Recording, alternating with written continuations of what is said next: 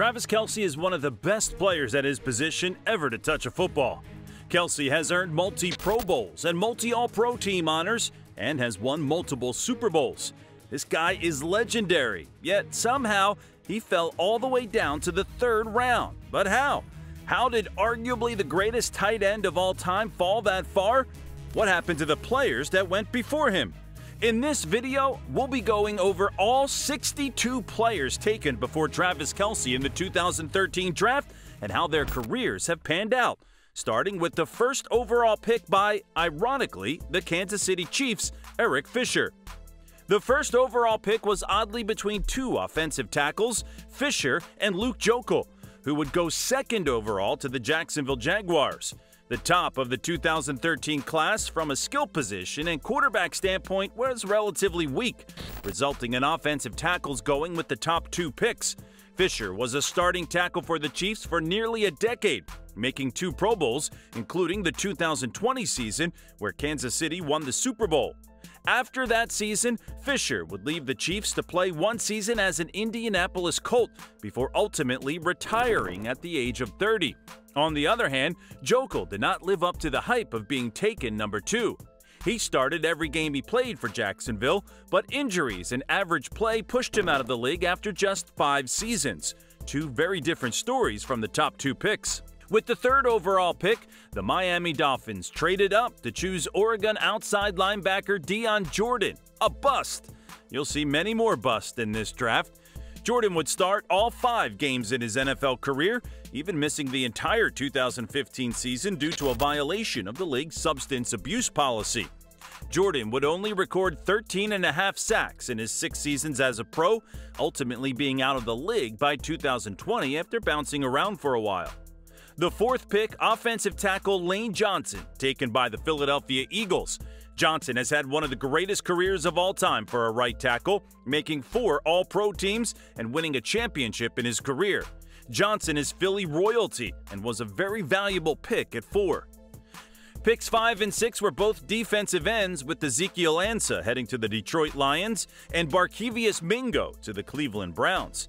Yet another pair with two drastically different careers.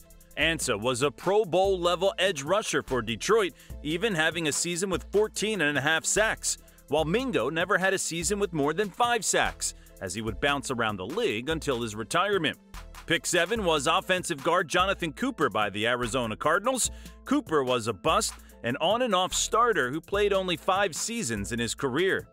With the eighth overall pick, the St. Louis Rams selected offensive weapon Tavon Austin from West Virginia.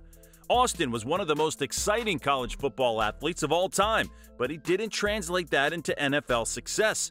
His speed and agility made him an exciting prospect, but for whatever reason, we didn't get to see him make NFL defenders look silly.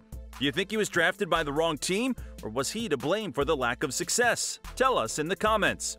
The next two picks would be bust Alabama cornerback Dee Milliner to the New York Jets, and Alabama offensive guard Chance Warmack to the Tennessee Titans.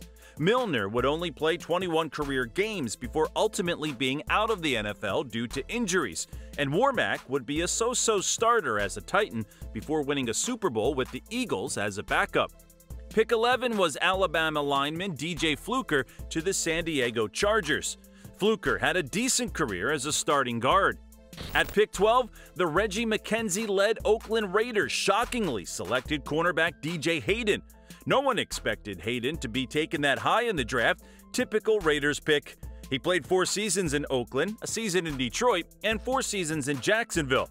Not bad for a major reach to last nine seasons in the league. Football aside, Hayden passed away in a tragic car accident in 2023. The next two picks would be a couple of very good defensive tackles. Sheldon Richardson to the New York Jets and Star Lotulelei to the Carolina Panthers. Richardson would be a one time Pro Bowler, even winning the 2013 Defensive Rookie of the Year award, and Lotulelei would be a solid contributing starter for Carolina and eventually the Buffalo Bills. Two very, very good picks considering who was taken before them. Pick 15 was Kenny Vaccaro to the Saints, Vaccaro would have a very solid career in New Orleans and eventually as a Tennessee Titan. Good pick. Pick 16, the first quarterback taken, EJ Manuel, was selected by the Buffalo Bills. Manuel would only start 18 games in his career and would only throw 10 touchdowns.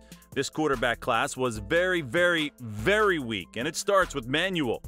Pick 17, linebacker Jarvis Jones to the Steelers, a bust according to Pittsburgh fans. The next five picks would all be Pro Bowl level players. Safety Eric Reid to the San Francisco 49ers. Offensive lineman Justin Pugh to the New York Giants. Offensive lineman Kyle Long to the Chicago Bears. Tight end Tyler Eifert to the Cincinnati Bengals. And cornerback Desmond Trufant to the Atlanta Falcons. These five players all had very, very solid careers, with the exception of maybe Eifert. The next two picks would be bust defensive linemen. Defensive tackle Sharrif Floyd to the Minnesota Vikings, and German board defensive end Bjorn Werner to the Indianapolis Colts. Yes, his name is Bjorn Werner. Pick 25 also belonged to the Minnesota Vikings and selected cornerback Xavier Rhodes. It took a while, but Rhodes would become an absolute lockdown corner, even making first team All Pro in 2017. Rhodes Closed was his moniker, and the name fit perfectly. Nobody got by Rhodes in single coverage when he was in his prime. With the 26th pick, the Green Bay Packers selected D tackle Datone Jones, a bust. Pick 27, the Texans selected Clemson wide receiver DeAndre Hopkins. What a pick! Hopkins is one of the best receivers of the last decade, if not the best, and it started here. A five time All Pro team member, an automatic 1,000 yards per season, a touchdown machine, the best hands a receiver can have, this guy has it all. Hopkins falling to 27 blows our minds. With the 28th pick, the Broncos selected Sylvester Williams, an average defensive tackle who, to his credit, did help the Broncos win Super Bowl 50. With the 29th pick, the Vikings selected Cordarrelle Patterson.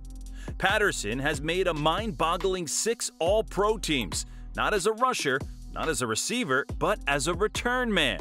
Patterson has cemented himself as one of the top return specialists in NFL history and has been able to put up numbers for different franchises throughout his career. The 30th pick was linebacker Alec Ogletree to the St. Louis Rams. Ogletree was a very good linebacker in his career, even making the All Pro team in 2016 for the Rams. Solid pick. Pick 31, the Dallas Cowboys took Travis Frederick. Frederick was consistently one of the best centers in football in his time, making three All Pro teams over his career. Fantastic value at 31. 32, 33, and 34 would be a few busts, Safety Matt Elam to the Ravens, safety Jonathan Cyprien to the Jaguars, and wide receiver Justin Hunter to the Titans. However, picks 35 and 36 were a couple of goodies. Zach Ertz to the Philadelphia Eagles and Darius Slay to the Detroit Lions, a player who would ultimately become an Eagle. Two very, very good players. Pick 37 was Giovani Bernard to the Cincinnati Bengals, a very solid running back for them. Pick 38 was linebacker Manti Te'o to the Chargers, a very good player in college who was the victim of a major catfishing scandal during his tenure at Notre Dame. There's even a Netflix documentary on it. As for his NFL career, he was a contributing starter for the Chargers and the Saints in his time. With the 39th pick, the Jets selected Geno Smith. The Jets are a nightmare for quarterbacks. Just ask Mark Sanchez. They failed Geno and gave up on him, but he changed the narrative of his career with Pete Carroll as a Seattle Seahawk, becoming a top 19 quarterback in the league. Pick 40 was defensive end Tank Carradine to the 49ers. Tank would only start eight games as a pro. Pick 41 was wide receiver Robert Woods to the Bills. Woods has had a very solid career in the NFL, hitting his prime as a member of the Rams in the late 2010s. The next two picks were stinky. Offensive tackle Menelik Watson to the Raiders and cornerback Jonathan Banks to the Buccaneers. The Panthers held pick 44 and they chose Kawann Short, a Pro Bowl defensive tackle who was a huge part of their 2015 NFC Championship season, making an All Pro team that year. The next two picks would be linebackers. Kevin Minter to the Arizona Cardinals, bust, and Kiko Alonso to the Buffalo Bills, the Defensive Rookie of the Year runner up who would have a very solid career. Pick 47 was another tight end, but not Travis Kelce. The Dallas Cowboys selected Gavin Escobar. Escobar had 333 career receiving yards. He is not Travis Kelce. Jerry, what were you thinking? Pick 48 would be a great one. The Steelers selected running back Le'Veon Bell. Bell was a multiple time All Pro in Pittsburgh and is one of the greatest running backs of his generation. Unfortunately, his career would take a massive dive after he held out due to a contract dispute, which would lead to him signing with the New York Jets. That was the beginning of the end for the former Steeler great. We're going to start flying through some of these picks because there isn't anyone super special in this range. D tackle Johnathan Hankins to the Giants at 49. Linebacker Jonathan Bostic to the Bears at 50. David Amerson to the Washington Redskins at the time at 51. Jamie Collins to the New England Patriots at 52, who was actually very solid for the Pats. Margus Hunt to the Cincinnati Bengals at 53. Jamar Taylor to the Miami Dolphins at 54. Vance McDonald to the San Francisco 49ers at 55. Yet another tight end not named Travis Kelce, Arthur Brown to the Baltimore Ravens at 56. DJ Swearinger to the Houston Texans at 57. Montee Ball to the Denver Broncos at 58. Aaron Dobson to the New England Patriots at 59. Robert Alford to the Atlanta Falcons at 60. That wasn't a super talented group of guys, with the exception of Collins, but pick 61 would be a ginormous talent as the Green Bay Packers would select Eddie Lacy.